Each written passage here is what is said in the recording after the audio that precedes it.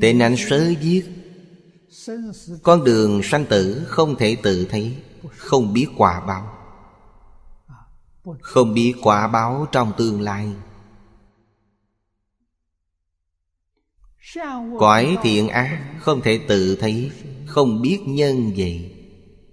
Hiện tại không biết cái gì là nhân thiện Cái gì là nhân ác Đều không biết Hành thiện nhất định được quả thiện Tạo ác nhất định thọ ác báo Đối với nhân quả tự tâm không biết Bản thân không hay biết. Tha vô ngữ giả. Người khác cũng không dạy quý vị Chữ tha này chỉ cho cha mẹ Là chỉ cho trưởng bối của quý vị. Thế hệ này qua thế hệ khác Không có ai giúp quý vị nên mãi mãi không hiểu. Đây là đạo lý chắc chắn. Quý vị mãi mãi không thể hiểu được. Cho nên đều không tin tưởng, Cho là không có việc đó. Tình trạng này ngay trước mắt. Toàn thể thế giới phổ biến Đều như vậy.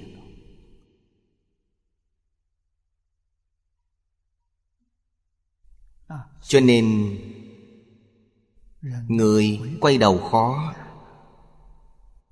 Vô cùng vô cùng khó. Không biết rằng Việc sanh tử, tức tự thấy được.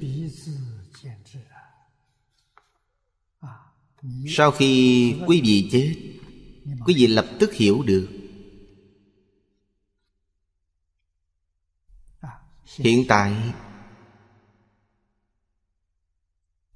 Cho dù ở nước ngoài, Việc mượn thân cũng rất nhiều. Những nơi tôi đi đến đều có. Ở Mỹ có, Canada có, Nhật Bản có,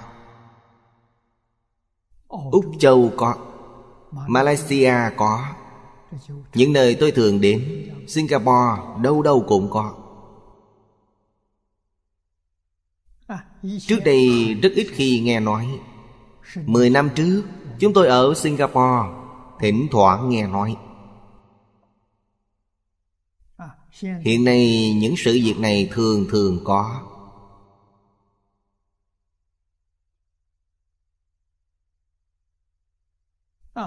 Chúng ta tỉ mỉ để quan sát.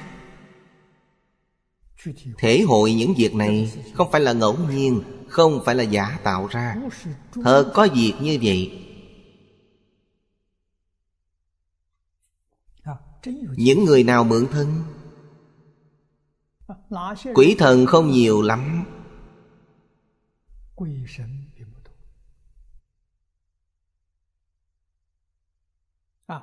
Đều là những gia thân quyến thuộc, Oan thân trái chủ qua đời.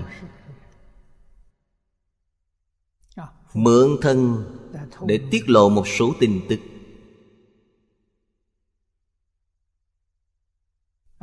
Toàn đều là tin tức nhân quả báo ứng. Mục đích ở đâu? Mục đích là cầu siêu độ. Lúc họ tại thế không tin tưởng nhân quả, Không tin tưởng quỷ thần, Không tin tưởng có đời sau, Không tin tưởng sáu nẻo luân hồi. Sau khi chết biết hết rồi.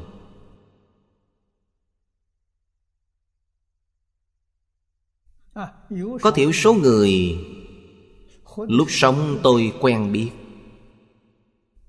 Chúng tôi từng gặp nhau.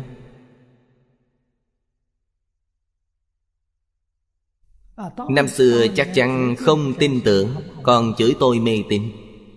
Bây giờ đến tìm tôi siêu độ cho ông ấy. Cầu tôi giúp đỡ ông ấy, Cầu tôi cứu ông ấy.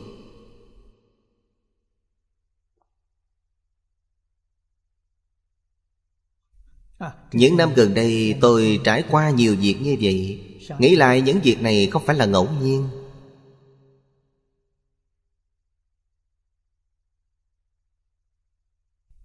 Cho nên hơi thở này dứt rồi. Liền hiểu được. Khi đang là thân trung âm, biết được. Gọi là ắt tự thấy được. Lúc đó, hối hận cũng không kịp nữa. Cha con, anh em, vợ chồng, đến lúc tử biệt khóc lóc cho nhau, cũng không miễn được.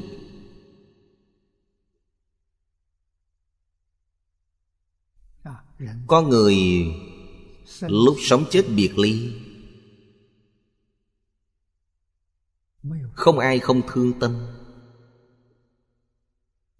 Không ai không động lòng. Việc thương tâm động lòng này không phải là việc tốt. Đây là tập khí phiền não. Lôi kéo quý vị Đi làm việc luân hồi.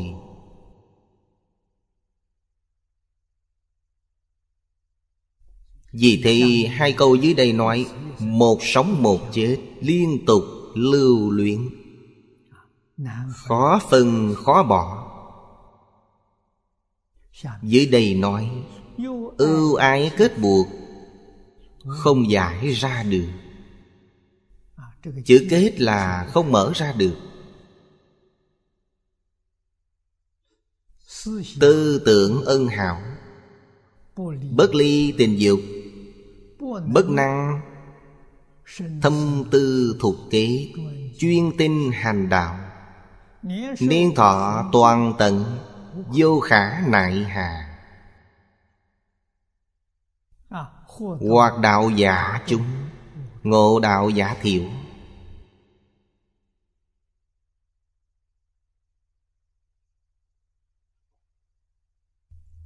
Đoạn này là trong chú giải của niệm lão nói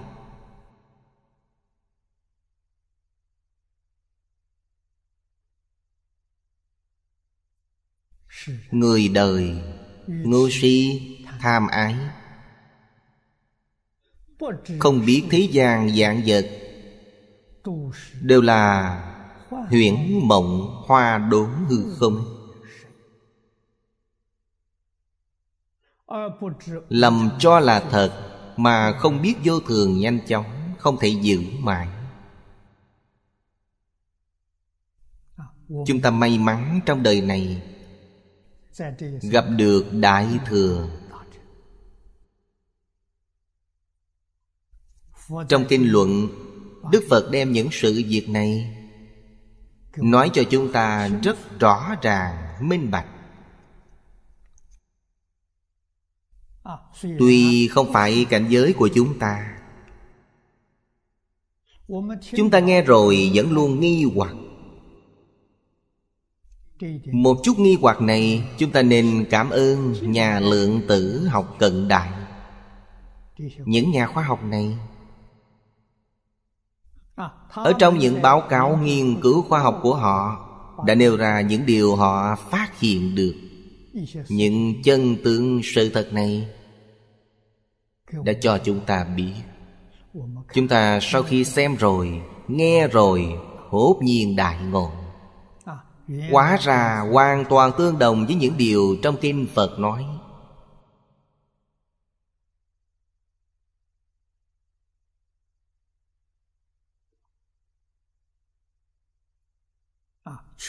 Đích thực là Huyễn mộng hoa đốn hư không. Đã ngộ nhận là thật có.